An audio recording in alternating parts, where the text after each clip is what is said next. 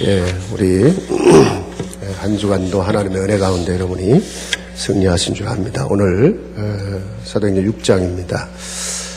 어, 하나님이 쓰시는 사람들이라는 그런 제목입니다. 어, 우리가 지난주에 사도행전 5장을 통해서 좀 어두웠던 면을 봤지요. 하나니아 삽비라고 하는 사람 실패를 통해서 크게 단순한 실패가 아니고 저와 여러분을 향해 주시는 하나님의 메시지 예, 들었습니다. 어, 분명한 것은 좀 아나니아 삽비라 자신에게는 좀 슬프고 좀 안타까운 일이지만 오히려 그 사건을 지나면서 전 교회는 새로운 각오로 서고 교회는 완전히 새로운 전환점이 돼버렸어요. 예, 여러분 보시면 알지만 교회는 그것 때문에 더 기도하고 힘을 얻고 온 교회에 하나님의 능력이 나타나고 어, 하나님의 증거들이 성도들의 삶 속에 시작되었다고 했습니다. 우리가요, 아, 늘 부족하고 또 가면서 계속 실패할 수 있지만요, 분명한 것은 내가 오늘 살아있다는 것은 아직 하나님이 내게 주는 기회라고 했어요. 그렇죠? 거기서 언약 찾아내고, 거기서 여러분이 내 정체성 찾아내고, 거기서 나를 향하신 하나님의 실대적인 계획, 전도, 선교, 나의 전도를 찾아내는 겁니다. 오늘 그 말씀도 사실 연결되어 있어요. 아직 내가 하나님의 계획 속에 있다는 거. 아직 내가 하나님의 시간표 속에 있고 하나님의 미래 속에 있다는 사실을 정말 붙잡아야 돼요. 그래서 내가 오늘 살아있는 겁니다. 오늘 저와 여러분이 말씀을 받는 이 시간도 나를 향한 하나님의 계획이 있고 하나님 시간표가 있고 하나님 미래가 있기 때문에 오늘도 우리가 주의 전에 나와 말씀 받는 거예요. 그렇게 붙잡아지고 정말 중요한 응답이 새로 시작되기를 주의 이름으로 축원합니다. 아, 오늘은요, 네, 이 본문은 그렇게 해서 이제 아, 성장해 가는 하나님의 교회에 처음으로 일곱 명의 중직자가 세워지는 그런 말씀이죠. 앞으로 우리 교회도 올해 이제 중요한 또 중직자들을 세우는 이런 일들을 지금 해 나가도록 지금 우리 장로님들 당연히 기도하고 있는데 어, 전 성도들이 같이 기도해 주셔 정말 어, 교회의 전환점을 이루는 일꾼들이 세워져야 되고요. 어, 우리 자신들이 이미 그 축복 속에 어, 들어가야 되는 겁니다. 오늘 성경에 보면 일곱 집사라고 했는데 집사라는 표현을 쓰다 보니까 지금도 이제 침례교회에서는 일부 교회에서는 아직도 그 신학성경에는 집사만 뽑지 않았냐.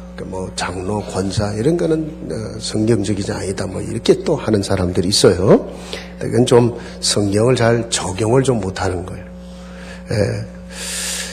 사실은 이게 예, 오늘날로 말하면 어, 우리 장로, 권사, 집사를 포함해서 교회를 섬기는 모든 직분자를 다 의미하는 겁니다. 그러니까 어, 직분들이 지금은 이 시대에는 더 세분화되어서 하나님의 교회를 섬길 수 있게 만들어 놓은 거죠.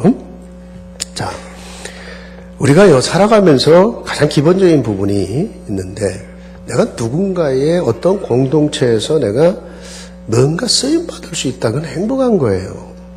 그렇죠? 근데요, 어느 날 내가 할 일이 없어요. 내가 쓸모없는 사람인 것 같이 느껴졌다. 그때부터 인생이 불행해지고 무너지는 거거든요. 여러분 노인들이요, 제일 그 어려운 문제가 뭐냐면 노인 우울증이거든요. 은퇴를 했어요. 할 일이 없어. 집에서도 다 이제 완전 노친내 취급을 하는 거라. 아이고, 뭐, 뭐, 엄마, 아빠, 뭐, 이젠 그냥 좀 있으세요. 그게 너무 서운해져. 예, 먼저 하지 말라는 거거든요. 예. 그 얘기는 이제 내가 쓸모없는 사람이란 얘기거든.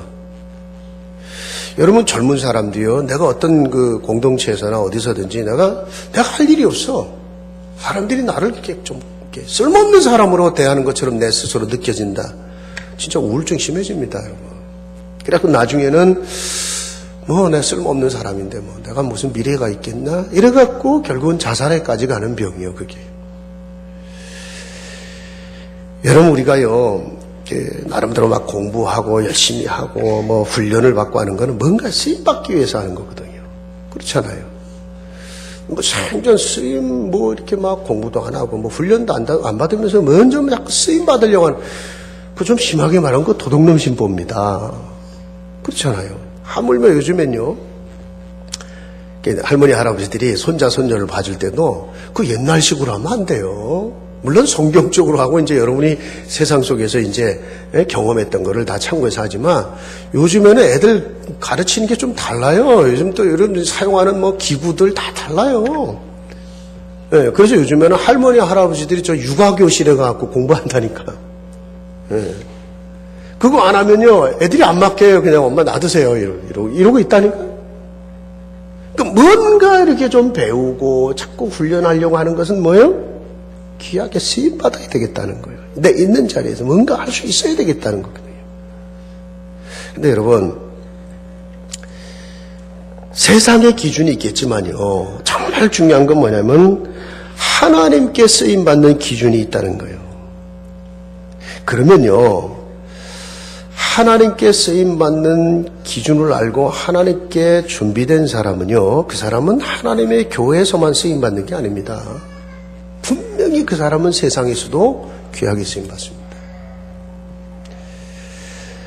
어, 뭐 역사 속에서 또 저 개인의 어떤 지난 한 30여 년의 목회의 경험 속에 돌아볼 때요, 교회 안에서 하나님 앞에 귀하게 쓰임 받는 사람치고, 나는 그런 사람이 세상 가서 막 비참해지고 실패하고 막 이런 사람을 못 봤습니다.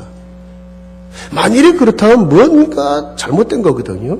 뭔가 잘못된 거예요. 자기 딴에는 뭔가, 뭔가 열심히 하고 하는데 그게 하나님의 기준에 안 맞을 수 있어요. 그래서 하나님의 기준이 그래 중요하다는 거거든요. 실제로 성경에 이제 마태복음 7장 22절 23절에 가보면 자 나름대로 막 봉사했어요. 막 헌신했습니다. 심지어는 막 예언도 하고 뭐 능력도 했어요. 그런데 성경에 예수님이 뭐라고 했냐면 그 마지막 때 그들 앞에서 뭐라 했냐. 이 불법을 행하는 자들아. 나는 너희를 도무지 알지 못하니 내게서 떠나가라 그랬어요. 아니 죽도록 고생했는데 내가 헌신하고 봉사하는데 왜 주님이 그렇게 말합니까? 불법을 행한 자들아 그랬어요. 불법이라는 말이 뭐겠어요? 단순히 법을 어겼다는 말이 아니잖아요. 하나님의 기준에 안 맞았다는 거예요. 그리고 나는 너를 도무지 알지 못한다는 거예요. 무서운 얘기가 되는 거죠. 성경에는요, 우리가 뭐 대단한 일, 위대한 일을 안 해도요, 작은 일을 하고도 하나님이 그를 너무너무 귀하게 여기셔갖고 그를 높이시고 하나님이 쓰신 많은 인물들이 있어요. 뭐 성경에 우리 렘넌트 일곱 명이 대표적인 케이스고 그 외에도 성경에 등장한 하나님 사람들 보세요. 작은 일을 했는데 거기서 하나님께 인정을 받고 쓰임 받았어요. 예를 들어 보세요. 다윗 같은 사람. 다윗이 어느 날 사무엘에 와갖고 어느 날 그냥 기름을 부었어요. 이게 하나님 선택이죠. 저와 여러분을 그렇게 어느 날 하나님이 불러 선택하신 거예요. 거기에 응답하는 걸 콜링 소명이라고 하는 겁니다. 근데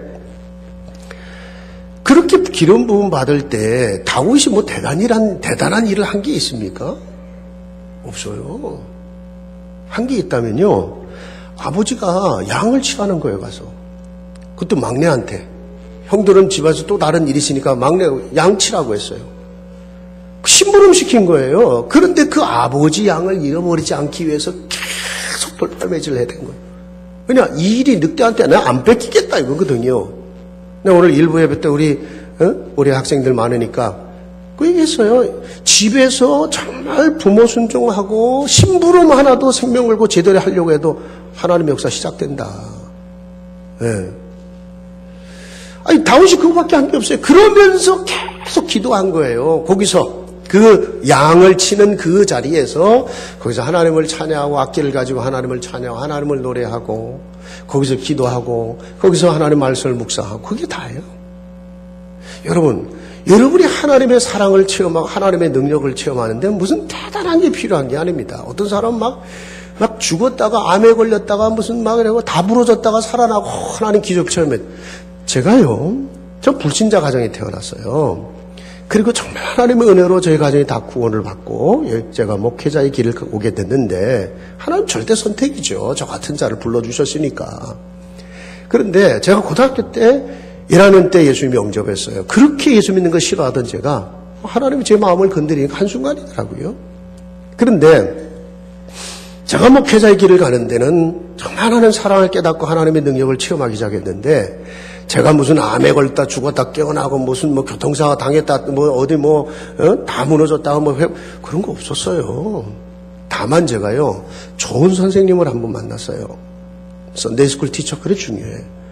이 지금은도 있는 그 선교 단체 내비게이터 멤버들인데 이 사람들은요 매일 성경을 읽는 걸 가르쳐요. 적어도 한 장에 세 장을 읽습니다. 그 읽고 성경에 하이라이트를 하고 밑줄을 긋고 거기서 중요한 자기 읽다 보면 마음에 와 닿는 게 있잖아요. 그거를 하나 반드시 픽을 해갖고 암송을 하게 만들어요. 예. 그리고 그거를 이제 은혜 받은 거를 자기 나는 일기처럼 큐티라고 그러죠. 쓰게 만들어요. 그거를 제가 고등학교 때 선생님을 통해서 계속 해온 거예요. 그러니까 말씀을 읽다 보니까 말씀을 하이라이트 하고 이렇게 묵상을 하다 보니까 깨달아, 어느 날 깨달아지는 말이 와요. 가슴에 부딪혀 오는 말씀이 있다니까요. 그, 그거를 이제 메모라이죠. 그러다 보니까, 아, 진짜 하나님 나 사랑하시는구나. 그리고 그 티네이저 때 자기가 필요한 게 있잖아요. 갈등 있잖아요. 그걸 놓고 기도하는데 응답이 와요. 정말 내가 우리 가족들 하나님 보고말을 놓고 정말 기도했는데 응답이 오더라고. 야, 하나님이 이렇게 세밀하게 응답하시구나. 예. 그 성경 보다가 울고 성경 보다가 하나님 사랑이 깨달아지고 뭐 대단한 게 없었어요. 그런데 거기서 하나님 사랑 깨달아지고 또 하나는 성도들에게 참 사랑을 많이 받았어요. 그 참, 예. 그러다 보니까 아, 하나님 사랑이 이런 거구나. 내가 받은 이 사랑을 내가 어떻게 하면 나눠줄 수 있을까? 성령께서 그렇게 역사하기 시작하니까요. 어떻게 하면 내가 이 사랑을 나눌 수 있을까?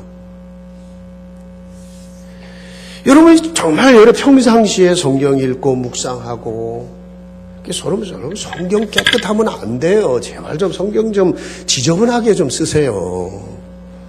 예? 저는 매년 성경 갈아, 이 올해도 또 갈았잖아요. 그래갖고 하이라이트 할 거 하면 하고, 밑줄도 없고, 메모할 거 하고. 무슨 뭐 성경, 성경 깨끗하고 평생 가보를 남긴데, 뭔 가보를 성경 언제든지 살 수 있는 게 성경인데. 성경이 자녀들의 가슴 속에 남겨지고요. 기도 속에 남겨져야지. 안 그렇습니까, 여러분? 성경 막 메모하고 하이라이트 하고요. 매년 바꿀 정도 된, 그 정도는 좀 돼야 돼. 왜냐, 여기 하나님 사랑이 다, 다 사랑의 고백이 이 속에 담겨 있잖아요. 정말 이 속에 여러분이 기도하다가, 야, 하나님이 이렇게 세밀히 응답하시구나. 아, 진짜 하나님 나 사랑하시구나. 이렇게 깨달아져야 되는 겁니다. 그렇게 무슨 대단한 역사를 통해서 하나님 사랑이 깨달아지고, 뭐 대단한 기적이 일어났고, 뭐, 그런 거 아닙니다, 여러분. 시작은 작은 것에서 시작되고, 내 있는 자리에서 시작되는 거예요. 예를 들어 사무엘 보세요. 사무엘의 그 물론 엄마의 그 정말 눈물 어진 한 맺힌 기도 있었잖아요. 한나의 기도. 그런데 사무엘을 어린 시절에 성전 보내 사무엘이 한 게 별게 없어요. 하나님이 사무엘을 어느 날 부르시는데 그 전에 사무엘이 한 거는 엘리 제사장 대단한 영성 있는 목사님도 아니요. 오늘날로 말하면 음, 예? 진짜 좀 아닌 아닌 주의 종이요. 너무 영적으로 흐린 종이요. 그런데 그 사무엘과 함께 성전에 사무엘 심부름하고 그 참 엘리제장 심부름하고 성전 청소하고 이게 다라. 작은 거였습니다, 여러분. 그런데 어느 날 하나님이 불러 하나님의 음성이 들려온 거예요. 여러분 하나님의 기적, 하나님의 사랑, 하나님의 능력은요 이미 그리스도 안에서 나타난 거지만 그걸 실제적으로 체험하는 데는 작은 것에서 시작해요. 내 평상의 삶에서 시작하는 거예요. 굳이 뭐 무슨 뭐 우리 흔히 그런 말 하잖아요. 굳이 앰뷸런스 타고 다니면서 뭐 막 이런 병 저런 문제 와갖고 그래고 깨달을 이유는 뭐냐?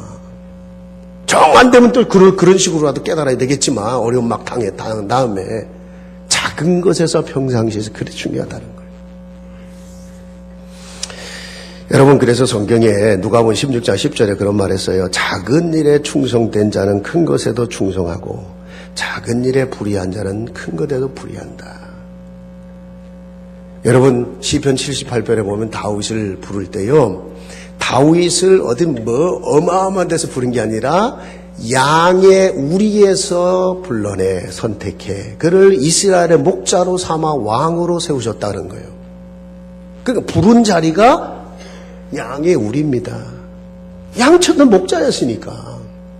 하나님의 응답의 시작이 양의 우리였다고요. 하나님의 기적이 시작이 내 있는 자리였다니까요.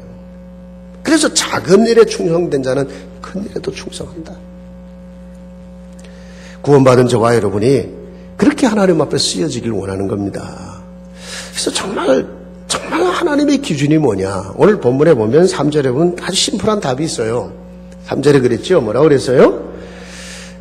하나님의 교회를 섬기고 시대의 세계복음화를 그, 그, 그 거창해 보이죠? 아직도요, 세계복음화. 아니에요, 여러분. 여러분, 작게서 응답 받아보기 시작해보세요. 그 응답을 간증 들을 사람을 세계에서 하나님이 여러분 옆에 보낼 수도 있어요. 근데 이 본문에 뭐라고 그랬냐면 그렇게 하나님 앞에 쓰임 받을 일꾼을 세워야 되는데 3절에 다 같이 한번 읽어보세요. 성령과 지혜가 충만하여 칭찬받는 사람 일곱 명이라고 그랬어요. 자, 첫째가 뭐예요? 성령에 충만한 사람. 둘째가 뭐예요? 지혜가 충만한 사람. 당연히 따라오는 게 뭐냐면 사람에게 칭찬받는 사람이에요.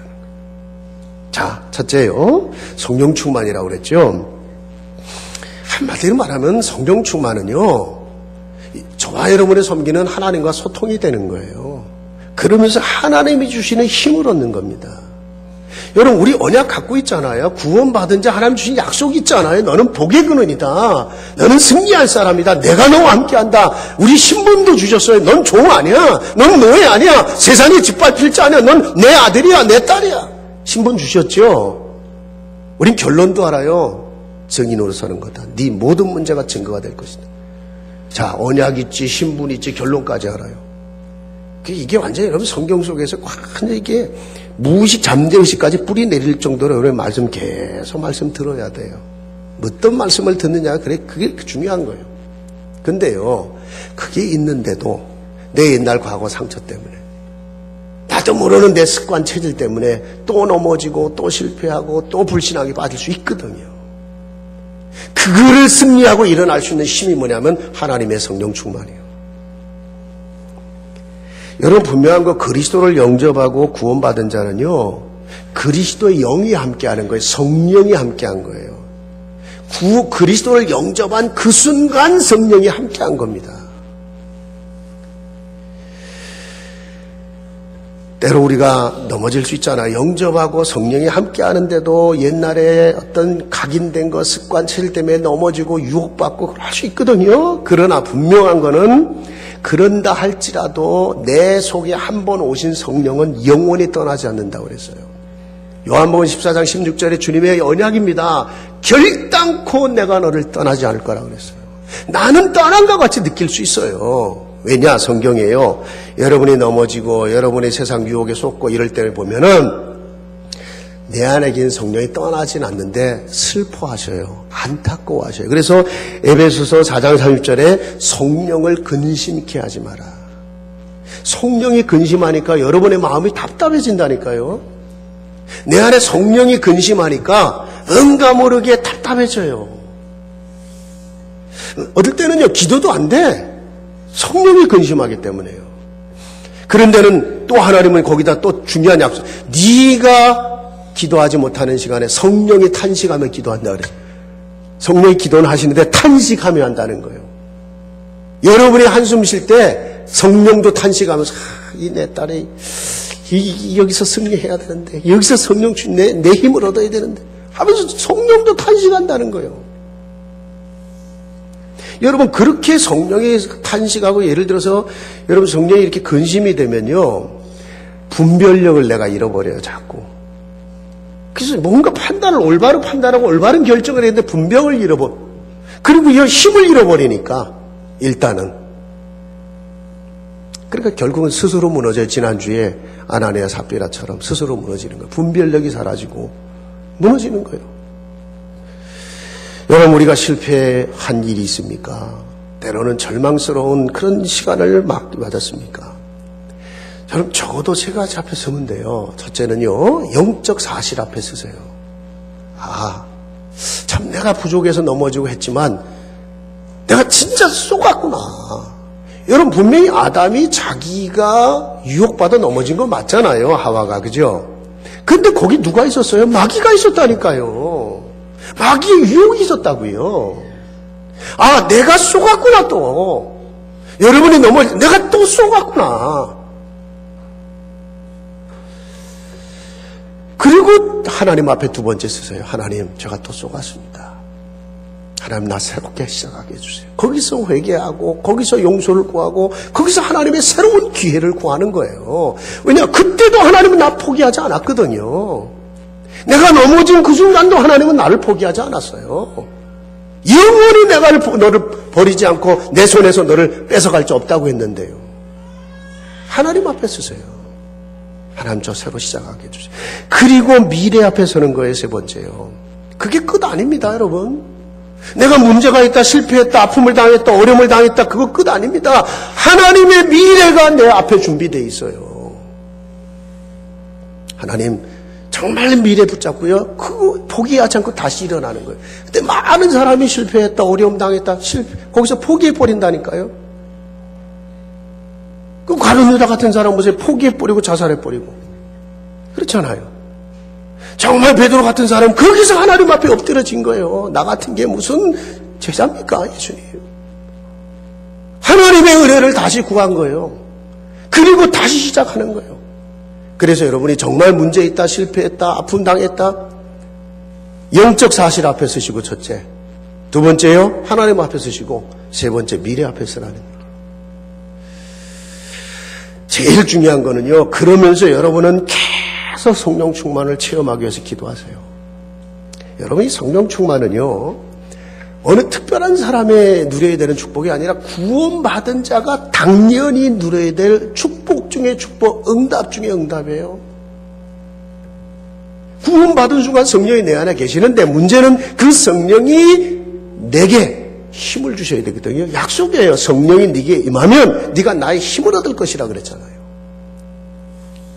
여러분의 마음, 생각, 감정, 온 몸에 성령이 역사하도록 계속 기도하세요.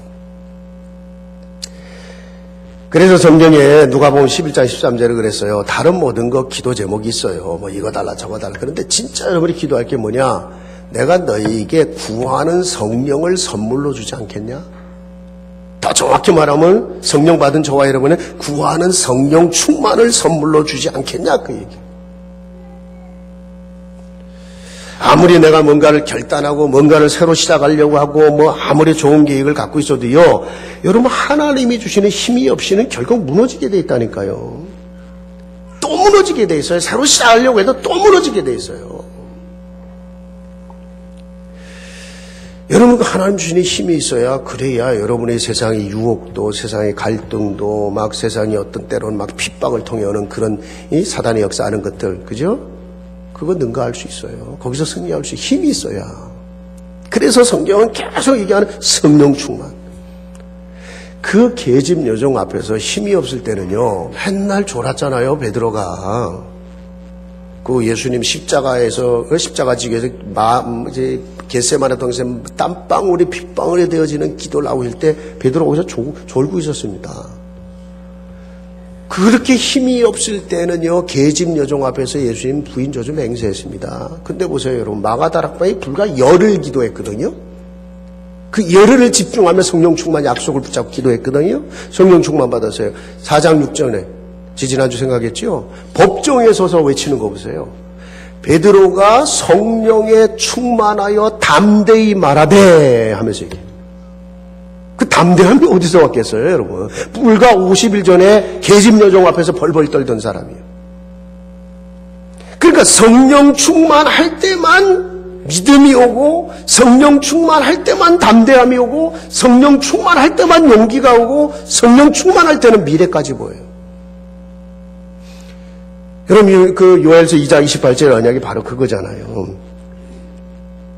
마지막 때의 약속의 성령 충만에 모두가 임하는데 그 어린 아이들이 남자 여자 아이들이 예언을 한다는 거예요. 뭐 단순히 무슨 점쟁이 예언을 하는 게 아니라 여러분 하나님의 말씀이 어떻게 성취될지가 보인다는 거예요. 예언. 하나님 말씀이 예언이에요. 늙은이들이 꿈을 꾼다는 거예요. 여러분 나이 들어서요. 무슨 무슨 뭐 이게 무슨 그런 그런 꿈이잖아 그런 개꿈 그런 거 말고요. 희망을 가지고 소망을 갖게 된다는 거예요. 아유, 늙어서 내가 뭘 할 수, 아니요! 희망과 소망이 품어진다는 거예요. 여러분, 아무리 어린 아이로 그 아이에게 비전이 보인대요. 미래가 보인다는 거예요. 그게 요엘서 2장 28절의 언약, 그게 사도행전 2장에 성취됐고 이 시대에도 하나님은 그 언약을 성취시키고 있다니까요. 그래서 여러분 성령 충만을 체험을 하기 시작하면요. 넘어졌다 일어나는 정도 아니라니까요. 정말 세상을 살 수 있는 그런 믿음, 큰 믿음, 막 그런 용기, 그런 비전이 내 안에서 일어난다니까요. 내게 아니에요. 성령이 주시는 거지. 그러니까 보세요. 그 실패했던 베드로를 통해 전 이스라엘 살아나죠. 여러분 바울 핍박자였잖아요. 하나님 교회를 핍박하던 자였어. 율법 막 이런 걸 가지고. 근데 그 베, 그 베, 이, 이, 이 사, 바울이요. 딱 정말 마케도니아를 향해서 막 로마를 향한 비전을 보잖아요. 가이사 앞에 서야 되는 이런 비전을 보잖아요. 황제, 로마 황제 앞에 서겠다는 겁니다. 그게 본인이 아니라니까 성령의 충만이었다니까요. 그러니까 성령 충만한 사람은 하나님의 힘을 얻게 돼 있고요. 거기서 믿음이 생기고, 거기서 용기가 생기고, 거기서 비전이 생겨요. 성령 충만. 하나님이 원하는 건 성령 충만이에요. 지식도 좋고 다 좋은 성령 충만 받아라. 그러면요, 두 번째, 그 성령 충만을 통해 반드시 따라오는 축복이 뭐냐면 지혜 충만이거든요. 지혜가 뭐냐? 하나님과 통할 때 오는 거예요.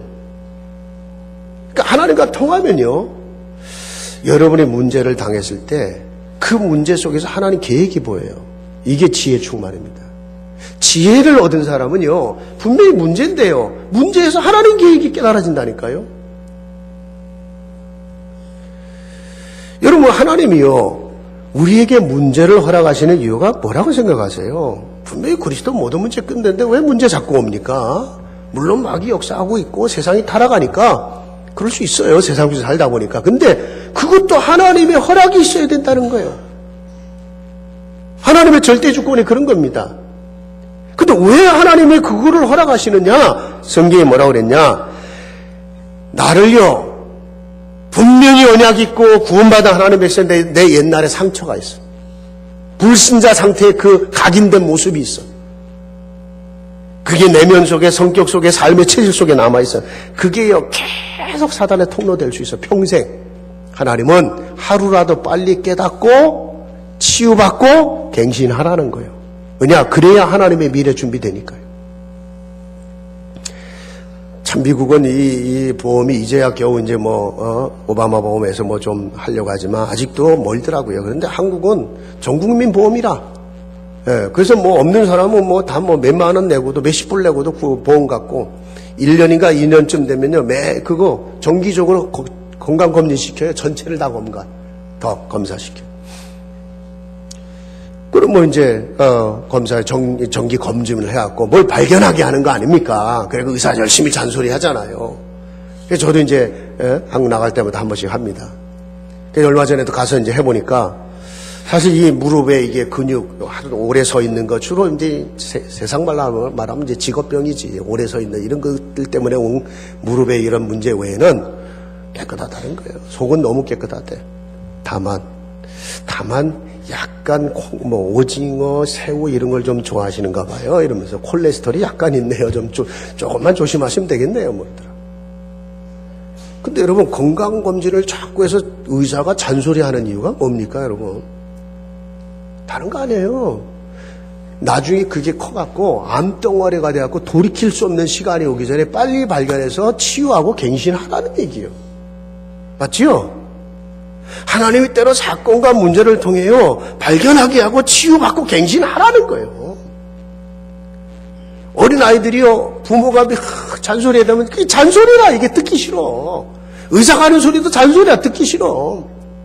근데요 그거를 통해서 작은 문제를 빨리 깨달으면 나중엔 암덩어리 같은 건 안 생기거든요. 여러분 우리를 갱신하고 치유하는 것만이 아니고 하나님이 나를 쓰실 만큼 문제와 사건을 통해 더 강하고 온전하게 세우기를 원하셔요. 아시잖아요. 세상이 어느 정도 타락하고 어느 정도 세상이 여러분 무서운 세상인지를요. 요즘에 우리 랩들이 막 그 엘리트 사회로 가고 막 이런 일들이 막 벌어지고 이제 응답을 보면서 그 보세요, 여러분. 진짜 웬만큼에서는요, 살아남기도 힘들어요. 그러면 그들하고 붙어서 싸우기 위해서 밤새고 맨날 그냥 이래 살아야 됩니까? 진짜 하나님의 능력 받아야 되거든. 다른 힘이 있어야 되는 거거든요. 불신자는 절대로 얻을 수 없는 디프런 파워가 있어야 되는 거거든요. 그게 성령 충만이에요. 때로 문제와 사건을 통해 야고보서 1장 2절에 그랬잖아요. 4절부터. 너희가 고난받고 시험 오면 이상히 여기지 마라. 하나님이 그걸 통해 나를 연단하시고 인내를 이루게 하시고 그 인내를 통해 나를 온전케 하셔서 나를 쓰려고 하시는 거 아니냐. 오히려 기뻐 감사하라 그랬어. 일부러라도 그렇게 하라는 거예요. 왜냐 하나님 미래에 있으니까. 그러니까 지혜가 뭐냐면 하나님의 계획이 보이는 거예요. 지혜 충만한 사람은 문제 속에서 하나님의 계획이 깨달아진다니까요. 또요, 문제만이 아닙니다. 여러분이 하는 일이 있잖아요. 그 하는 일이 작은 일인데도 불구하고 거기서 하나님 계획이 깨달아지고 하나님의 도우심을 받아요. 지혜 충만한 사람은. 그 요셉 같은 경우도 보세요. 요셉이 노예로 팔려갔을 때 노예 아닙니까, 여러분? 집안 청소하고 잔일해야 되는 노예 아닙니까? 그런데 그 작은 일 속에서 요셉은 하나님의 힘을 얻은 자요. 그러니까 신세 타령하지 않죠. 형제들에게 팔려갔는데. 그렇죠? 그러면서 지혜를 얻어서 일을 하니까 주인이 인정을 해요. 지혜를 얻으니까. 나중에는요, 요셉이 한 사람 때문에 보디발의 전 집에 하나님의 축복이 임했다고 그랬어요. 여러분 아시죠? 하나님의 지혜를 가진 사람은요, 반드시 그 사람은 그 시대에 그 사회에 그 국가에 중요한 일합니다. 하나님의 지혜를 가진 사람. 예를 들어 뭐 아브라함 링컨 같은 사람 얼마나 많이 실패하고 얼마나 많이 세상적으로 부족한 사람이었습니다. 한 시대에 시대를 바꾸는 일을 하잖아요. 여러분 뭐존 아나메이커 뭐뭐 이런 이런 사람들 또 뭐 라크펠러 이런 사람 보세요. 다 어린 시절에 가난하고 모자르고 학교 공부 제대로 못했어요. 그런데 그들이 어린 시절에 진짜 하나님 앞에 섰고 은혜 앞에 섰다니까요. 하나님의 지혜를 주시니까 하는 일이 전부 축복이라. 여러분 그 어, 아브라함 링컨이 남북 전쟁 때 했던 기도 아시죠? 그 남북 전쟁 때 북군이 위기에 처하고 전쟁에 막 그 밀리는 그 시간에 링컨은 계속 막사씩 기도하는 거예요. 근데요, 기도하면서 사람들을 지휘관을 모아놓고 한 얘기가 있어요. 그 유명한 얘기입니다. 하나님이 우리 편에 서도록 기도하지 마라. 그 대신 우리가 하나님 편에 서 있는가를 점검하고 우리가 계속 하나님 편에 설 수 있도록 기도하라 그랬어요. 여러분 하나님의 계획을 깨달았다는 거예요. 노예 해방이라는 이 사건 속에서 하나님이 우리 편에 하나님 우리가 지금 하나님 편에 서 있는 거예요. 하나님의 계획 속에 내가 들어 있는 게 확인됐다면 거기서 용기 나오는 거예요. 두려울 게 없잖아요. 내가 지금 하나님의 계획 속에 있는데. 우리는 반대로 기도하거든요. 내가 하는 일이 하나님 내 편 되어 주길 원해. 근데 그게 하나님과 방향이 맞아야 될 거 아닙니까? 어리석은 사람은 문제가 오면 불평, 원망 막 비난하잖아요. 그런데 지혜로운 사람은요, 거기서 하나님 계획 찾아내고요. 나중에는 누구를 도울 때 대안을 마련해주고 살 길까지 열어준다니까요. 그게 지혜입니다.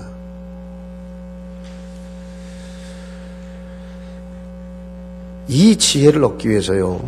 우리가 잘 아는 그 솔로몬의 아들, 아 이제 다윗의 아들 솔로몬 보세요. 아버지 때 다윗을 통해서 세워졌던 하나님의 나라. 실제로 솔로몬의 기도가 그거예요. 하나님 앞에. 내 아버지를 택하여 아버지를 통해 세워놨던 이 나라에. 이 나라를 굳게 하기 위하여. 굳세게 하기 위해서. 하나님의 뜻대로 이 백성과 국가를 다스릴 수 있는 지혜를 내게 주시옵소서. 하나님의 계획에 따라서 할 수 있도록 내게 지혜를 달라는 그 기도를 밤새 한 거예요. 성경에 보니까 1천 번제를 드리며, 그러니까 1천 마리 양을 죽이면서 번제를 드렸다는 그런 밤새 한 거지 뭐예요. 그러니까 하룻밤을 밤새 하나님 앞에 부르짖어 기도한 거예요. 지혜를 달라고요. 하나님의 뜻을 따라서 하나님의 뜻을 이룰 수 있는 지혜를 달라고. 하나님이 응답하셨죠. 근데 뭐라 응답하셨습니까? 네가 세상의 돈, 부귀, 영화, 권력 다 구할 수 있는데 그걸 구하지 않고 나의 뜻대로 살 수 있는 지혜를 구하였기 때문에 그게 내 마음에 합한 기도라. 구하지 않는 모든 걸 다 주겠다 그랬어요. 그게 하나님의 계획입니다. 수준 높은 기도죠, 그게요, 사실은. 아, 우리가 하나님의 사람이 맞다면, 그죠? 내 문제 속에 내가 하는 일 속에서 하나님의 계획을 찾아내는 거예요. 여러분 지혜 충만한 사람은 세 번째요. 여러분의 말 한마디 속에서도 하나님 계획이 나옵니다. 사무엘상 3장 19절에 보면 그 유명한 사무엘 입술의 말 한마디도 그죠? 땅에 떨어지지 않았다. 그 사람이 지혜를 얻은 사람의 말은요. 굉장히 어떨 때는 합리적이에요. 우리가 합리적이란 말은 이치에 맞다는 거 아니에요. 기본에 맞다는 거. 어떤 사람은 너무 기본에 안 맞는 얘기들을 하는 사람이 있고. 그렇죠? 그리고 어떤 그, 런 말은 굉장히 객관적이에요. 누가 들어도 같이 동의가 돼요. 그리고 더 나가서 굉장히 전문성이 있어요. 그렇죠? 왜냐? 하나님의 지혜를 얻은 자의 말이기 때문에. 그리고 그거는 사람을 살려요. 우리가요, 흔히 막, 진짜 말 잘하는 사람 있잖아요. 그거 얘기하는 게 아니고, 진짜 말 너무 잘해, 저 사람은. 거기다 또 악한 일을 위해서 사람 또 설득하는 데는 아주 타의 추종을 부려. 그런 사람도 있어요. 그 얘기를 하는 게 아니잖아요. 우리가 하나님의 계획을 다 붙잡았을 때. 여러분, 어떤 사람은 또요, 그런 사람이 있어요. 좀, 어, 어, 이, 이렇게, 이렇게 말을 통해서 다 쏟아내는 사람들 있잖아요.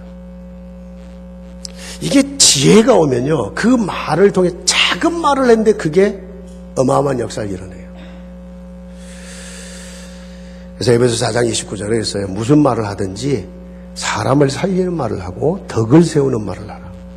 사람에게 정말 뭔가 예, 은혜가 되는 그런 말을 하라. 그런 말씀이 있잖아요. 자, 성령 충만을 통해 힘을 얻고 지혜 충만을 통해서 하나님 계획 깨달아지고 그게 내 삶에서 적용되기 시작하죠. 반드시 따라오는 게 세 번째예요. 사람에게도 인정을 받고 칭찬을 받는다는 거예요. 사람하고도 통한다는 거예요. 쉽게 말하면 하나님과 통하는 사람은 사람하고도 통해요. 어리석은 사람들이 좀 있어요. 어떤 사람은요, 사람에게 인정을 받기 위해서 몸부림을 해요. 그래서 인본주의 수 거짓말하고 막 해요. 사람에게 인정을 받기 위해서. 그게 뭔지 아니거든요. 하나님께 인정을 받는 사람. 사람은요, 내가 좀 부족한데 그 부족한 걸 내놓을 때 오히려 더 좋아하잖아요. 굳이 막 인정받으려고 애쓰지 않아도요. 또 어떤 어리석은 사람들은 음, 하나님께만 인정받으면 된다는 사람이 있어요. 절대 하나님만 되길 날 인정하면 되지. 그 틀린 얘기입니다. 여러분 하나님이 인정한 사람은 사람도 인정하게 돼 있어요. 우리가요 진리에 대한 핍박을 하는 사람도 있어요. 오해를 하기 때문에 그래서 오해를 받거나 핍박을 받을 수는 있으나 정말 하나님의 지혜를 얻고 하나님의 힘을 얻은 자는요 그 하는 일이나 모든 부분에 나중에는요 뒤에서라도 그 사람 인정합니다. 저 사람이 저, 저 어? 내가 예수 안 믿고 저 사람 말하는 오직 예수 진짜 듣기는 싫지만 저 친구 입에서 나오는 말, 저 친구 하는 일 보면 야, 내가 진짜 할 말 없다. 이렇게 됩니다. 예를 들어 다니엘 같은 것이 대표적인 모델이거든요. 다니엘 6장에. 얼마나 많은 사람이 다니엘을 시기했습니까? 그런데 그 다니엘의 하는 그 일이 너무너무 민첩하고 달랐다는 거예요. 디스팅기시 영어로. 그 다음에 너무너무 충성되고 뛰어났다는 거예요. exceptional. 네, 뛰어났다는 거예요. 그래서 단 하나의 흠도 찾을 수 없었다는 거예요. 그러니까 성령의 힘이 있죠. 지혜가 있죠. 당연히 그 하는 일에 증거 나오죠. 사람들이 인정했다는 거예요. 초대교회가 그렇게 핍박받았잖아요. 예수 얘기하면 감옥 가야 되고 죽어야 됩니다, 여러분. 그런데 사도행전 2장 마지막 절에 보면 그들이 온 백성이 그 핍박을 하면서도 그 백성을 칭송했다 그랬어요. 초대교회 마가다락 방송도들. 말씀 마무리하겠습니다. 여러분 성령 충만의 키예요. 성령 충만이에요. 구원받은 여러분, 성령을 소유하고 있는 여러분, 여러분의 영혼, 여러분의 마음, 여러분의 생각, 여러분의 계획, 여러분의 모든 일, 모든 만남 속에 하나님 24시 나에게 성령 충만 주세요. 여러분 잠을 잘 때도요. 그냥 주무시지 마시고 하나님 내가 자는 이 시간도 성령 충만. 아까 아까 얘기했잖아요. 베드로 좋은 졸면서도 주여 하면서도 성령 충만 이러고 끄떡. 해보라니까요 정말이요.